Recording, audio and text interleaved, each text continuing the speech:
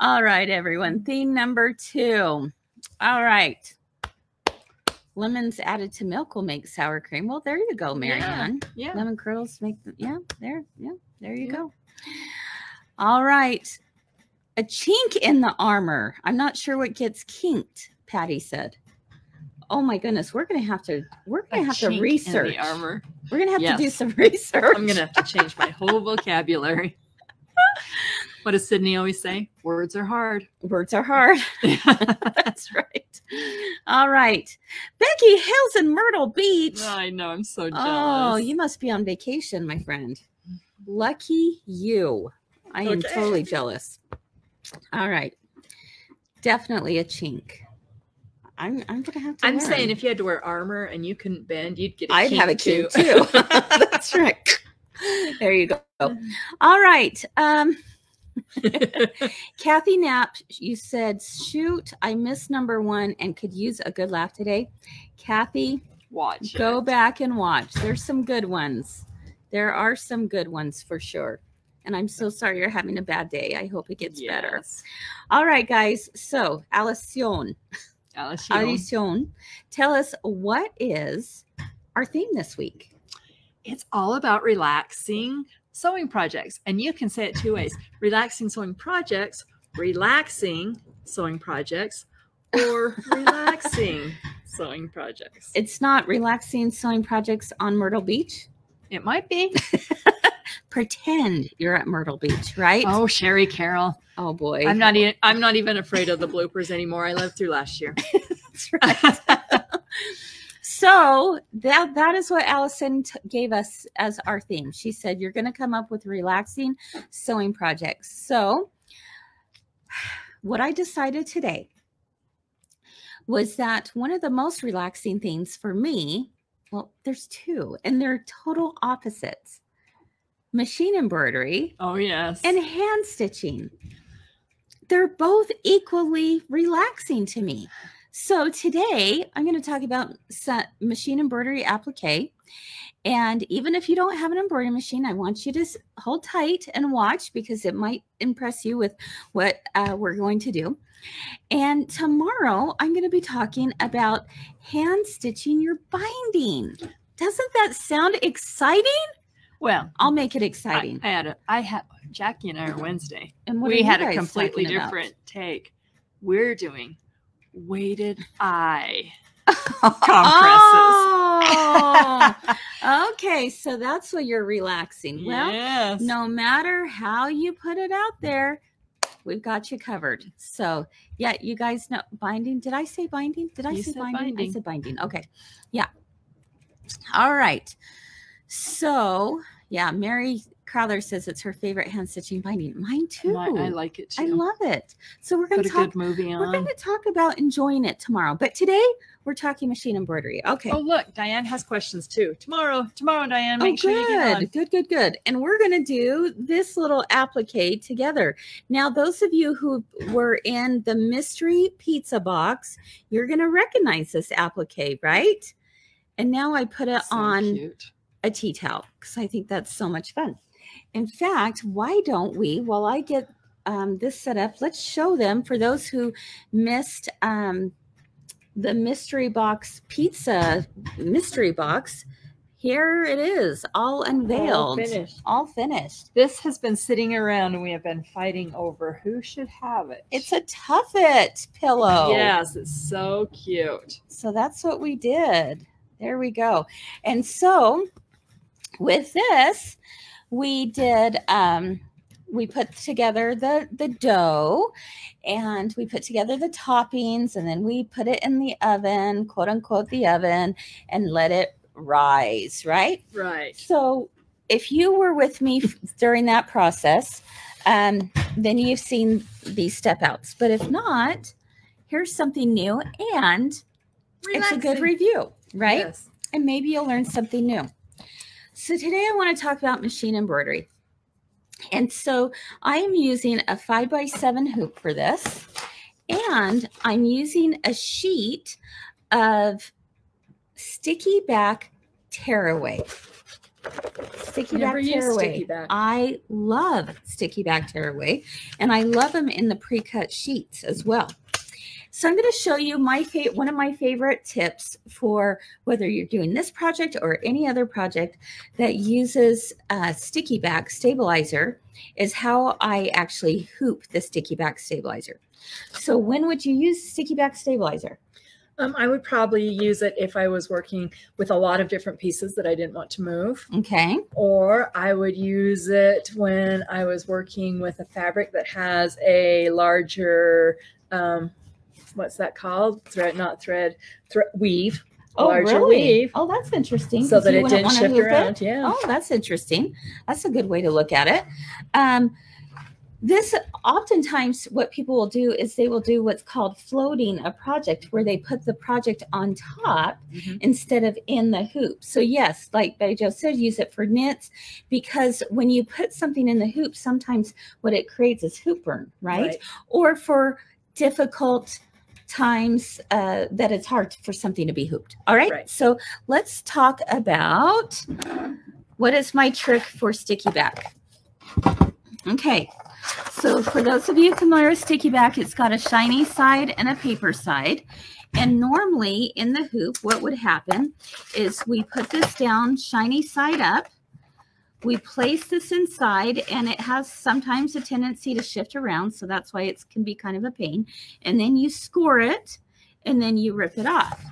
But another technique that I like to do is I actually, should we close that door? Let's go ahead and close it. I feel good. like we have that wind. I know. I'm going to pull this back. Let me put my hoop back into place. Okay. All right. So my hoop is this one. I'm going to pull this back, revealing the sticky side. And if I just put it like this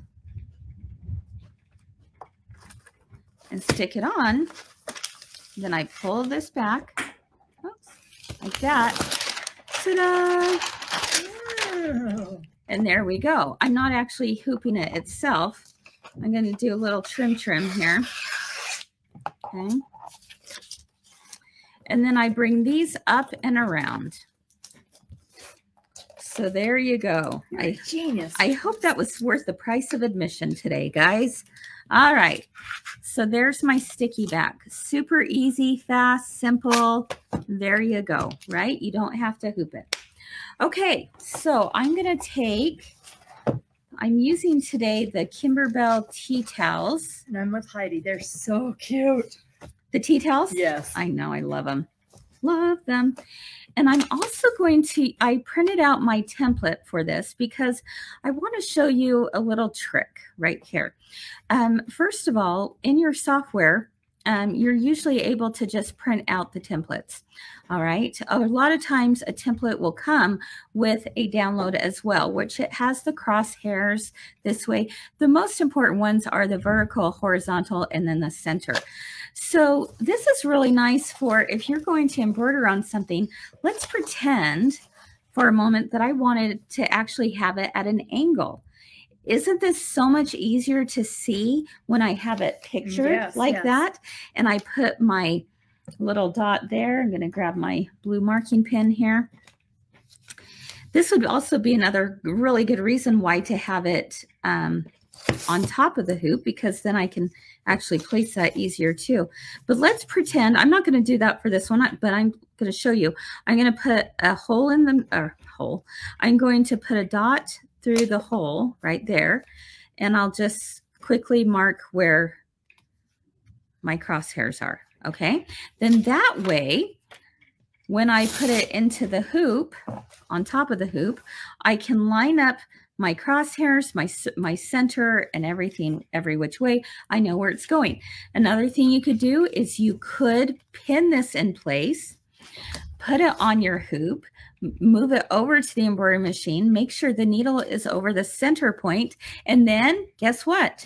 Just pull it out and begin stitching. Now I'm going to show you a third way. And that is I'm actually going to mark my stabilizer, the crosshairs right in the middle, just like this. Have you ever done it this way? No. All right. So I have some crosshairs there. And then I'm going to find the center of my towel simply by just folding it in half. Now this I have done. And you know what? Actually, I think I'll fold it in half the other way. Is going to be even easier. I'm going to put it with right sides together. Okay. And I can do a little mark right here. And then I could decide how far up I want that to be. And I can even take this to help me out with that. And I think I want it, yeah, no, I think I want it a little bit lower. So I can do this and mark my crosshairs this way. All right. You see what happened there? Now, I'll take this. I have crosshairs here put this line on the vertical line and make sure the horizontal line is marked up, marked together with the horizontal line. Mm, and then all your marks are on the back. All my marks are on the back. There you go. And now I know that it's hooped exactly where I want this to go. Sweet. All right. Okay. So that's how you mark. Okay, and then I just press it down. If you get it on and you're like, oh, I want to switch it around, no big deal. Look, it just comes off really easily, but it's going to hold this in place really, really nice. All right, let's take it over to the embroidery machine then and go through the steps of what's happening. Okay. Good. Mm -hmm. All right, so if you're not familiar with how machine embroidery works, there are basically three parts to an applique. You have a placement line, a tack down stitch, and a satin stitch. So let's show, oh, let me show one other thing here. There we go. Okay, right here, I don't know how it? well you can see that. Yeah, that's going to show me what's going to first stitch out. And here's the design that I'm stitching out. So I'm going to go ahead, put my presser foot down.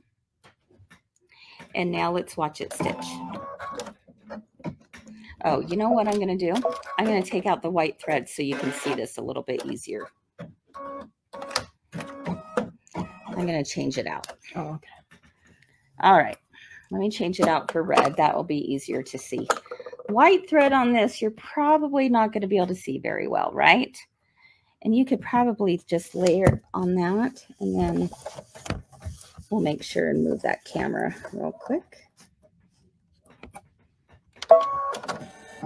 There we go. Okay. Alrighty, so I'm gonna go ahead and stitch that out.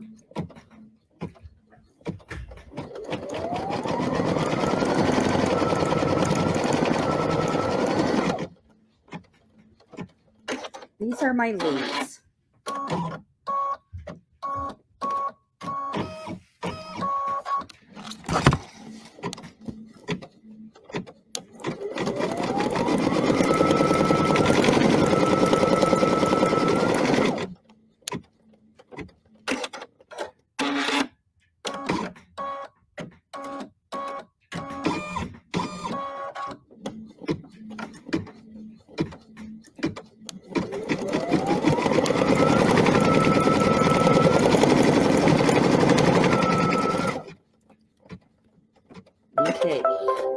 leaves. can see that it's done a placement line showing me where to put my leaves. Now take a look at this. All I have to do is take a big piece of fabric right here, and I'm simply going to just make sure that it's covering everything and put my presser foot down and begin.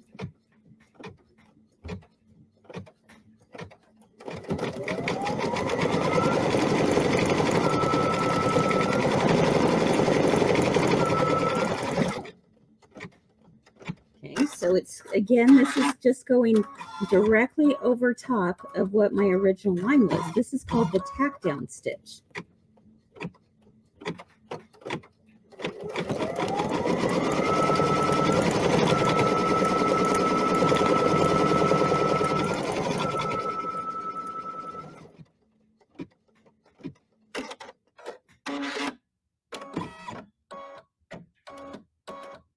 Thank you. Isn't it fascinating? I just love watching it. Yes. Allie was in here watching and she's like, now I 112% need one of these. exactly. All right, let's go ahead and take the computer back over. And I'm going to come right here and show you how I cut this. Oops.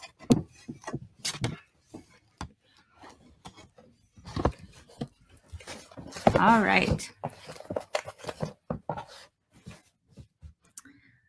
Okay, and I'm going to grab the Kimberbell scissors that I love so much and just trim around the outside. Okay, so these are called duckbill scissors. They have, it's kind of a funny looking thing, but they have what's called a duckbill. And the whole idea behind duckbill scissors is that you put the actual duckbill towards the applique and it's supposed to protect your um, stitches from being cut. Now, you will notice that sometimes I go back and forth. I usually do just what's ever is most comfortable. And you just have to hold this up and just do your trim trim. Okay. Whoops. All right.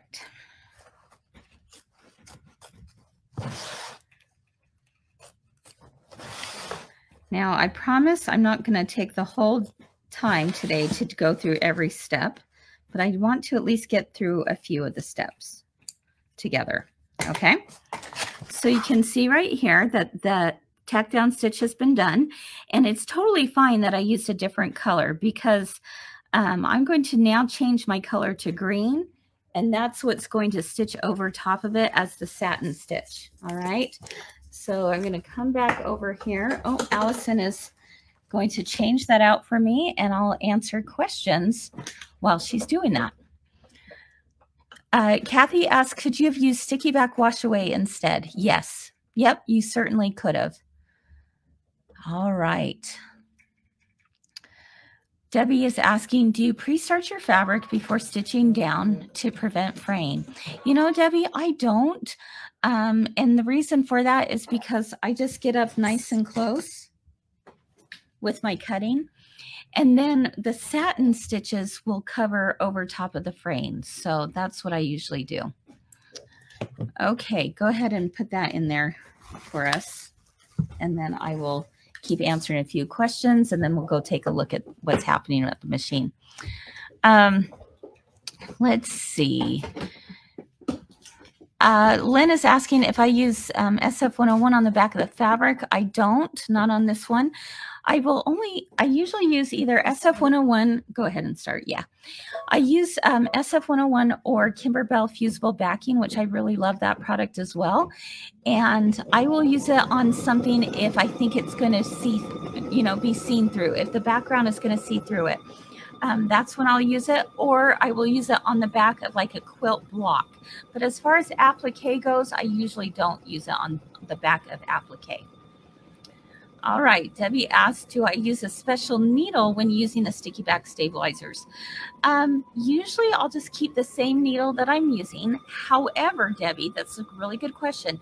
If you have problems with the sticky back that is coming up onto the needle, you have thread breakage for some reason because of that friction that's causing and it's getting sticky, then yes, you could use what's called like a, a Teflon needle or an anti-glue needle uh, there's different names for them, but it's kind of an, um, it helps resolve that issue.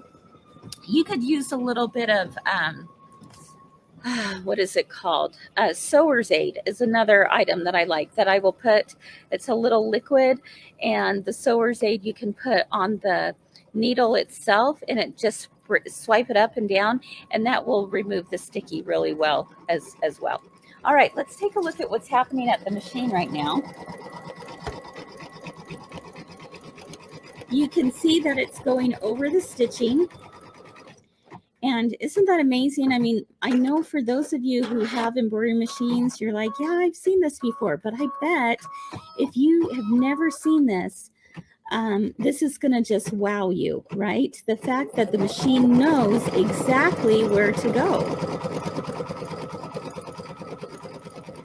Let's watch that for a minute and then we'll answer some more questions.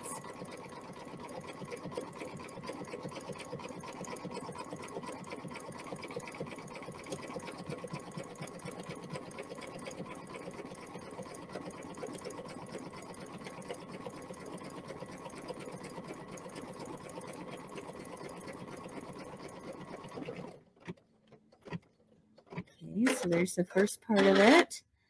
And then it's going to move over and go to the second part. Now it didn't go, to, it did not go to the bottom of it because that is where the planter is going to be covering it. So it didn't need to put it on there, right? Yeah. All right. So while that's stitching out, um, let's answer some more questions. Yeah, Donna, the reason why you're getting charged on some of your purchases tax, guess what? It's really a bummer. I hate it. I hate taxes. Um, but it's because unfortunately some states we now have to charge taxes because we do a certain we've reached a, a threshold of business in that state and so unfortunately your states want the money right which is understandable Right. so right. nothing bad about that. I mean, We I hate to it. send it. Yeah. but we it's something we um, that is done through um, the states. That that is why some states require us to charge sales tax. Unfortunately. Um, Sharon says she's never seen how an embroidery machine works. I've thought of getting one. Sharon, it's so You need one. Yes, it is fun. It is so fun. You didn't have one until Tell Tug. until Tug, and Yeah, then you said, "Oh my gosh, after, I yeah. have to, I have to have one of these, right?" Yep. Yeah, for sure. It is a lot of fun, and it's just it's so rewarding to see how it comes together. So we showed you this one that I did. I did a, a test stitch out on some just regular fabric here, So cute.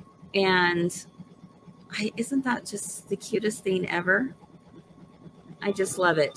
So that is all done on an embroidery machine, and there's just no way you could get that look on a sewing machine, right? Right. No, I mean, or by hand even. Yeah. Do we have pizza boxes left? Yeah, I Donna's think we- asking. I think we we do a have a few. So, Yep.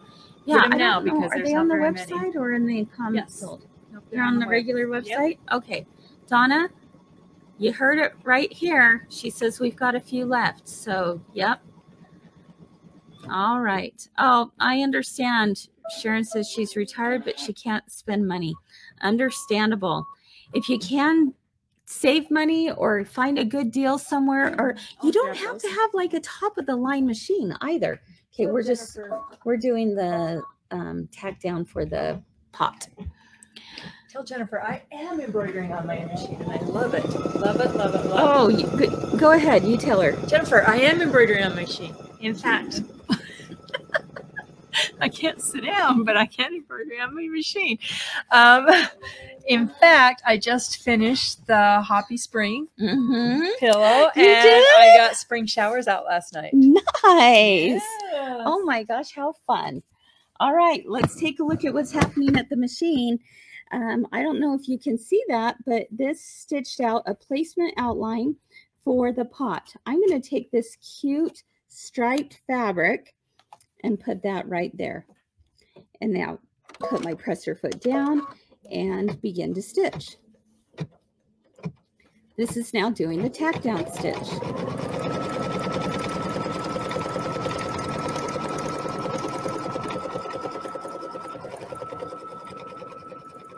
It's going to go over a couple times.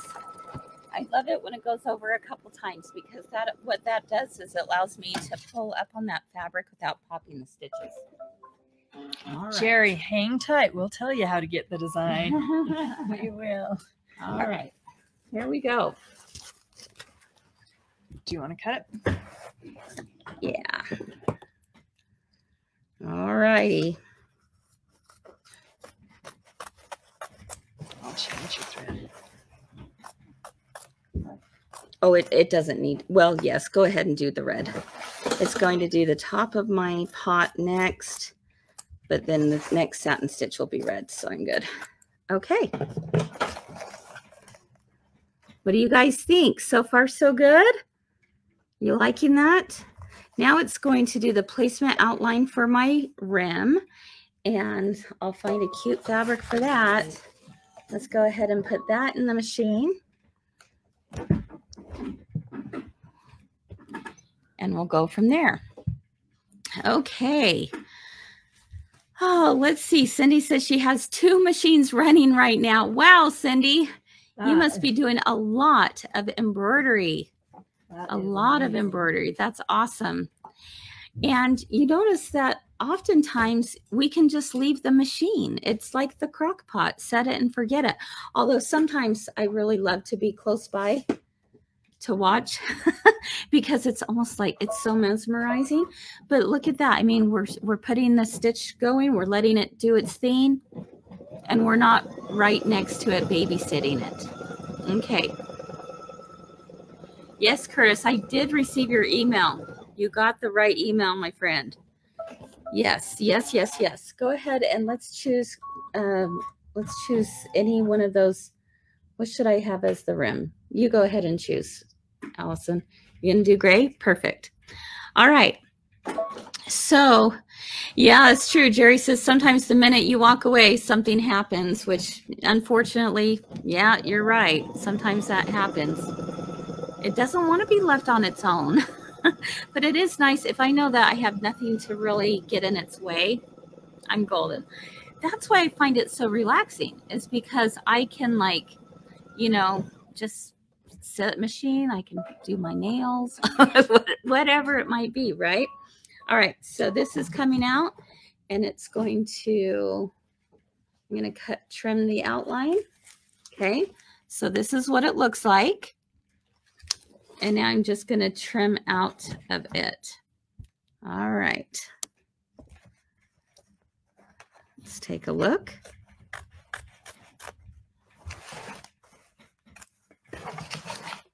Okay. The next thing that it's going to do is do the satin stitch for the pot. All right, so I'm going to do that in red. And so you can see how it's looking. What do you think? Oh my gosh, I'm so excited. All right, Allison, do your magic. All right. So what other questions can I help answer? Um, yeah, that's true. Curtis, you're right. He says, um, I'm usually pressing, prepping other blocks on the project while one is stitching, which is, yeah, really, really true for sure. All right. Um, anyway, very, very fun. All right, you guys. So that is the basics of how this stitches out. Isn't that cool? And I love these these uh, new tea towels from Kimberbell. So someone asked, what fabric did I use? I used a charm pack from Beautiful Day. In fact, can we grab those, Allison? Um, this was our charm pack uh, for charm pack day. I think we might have a few left. Do we? Uh, I don't know, but um, but there's some beautiful fabrics in here, and these are actually also the same fabrics I used on the pizza box mystery tuffet. So kind of fun. Um, ooh, look how pretty that is. Love that. Charm pack of the day But yes, it was So our charm Sydney's pack of the day. Sydney's checking to see if we have any left. Love this. Very, very fun. This was a favorite of a lot of people. I put that in people's kits. Aren't those gorgeous? All right. So come on over, Allison. We're going to let that keep stitching out for a minute. And just wanted to show you that. Now, for those of you who do not have a sewing machine, look, we have this for you.